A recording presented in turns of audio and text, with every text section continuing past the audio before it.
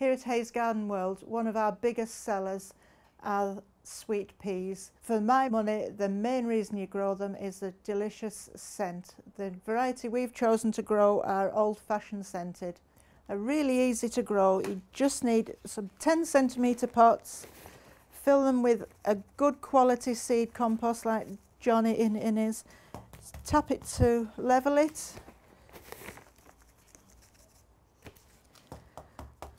Take out the lumps, just make a tiny hole in the top. You can either use your finger or you can use this little thing which is a dibber, it doesn't really matter. Just four holes round the outside and a seed in each hole. Just pop one seed into each hole.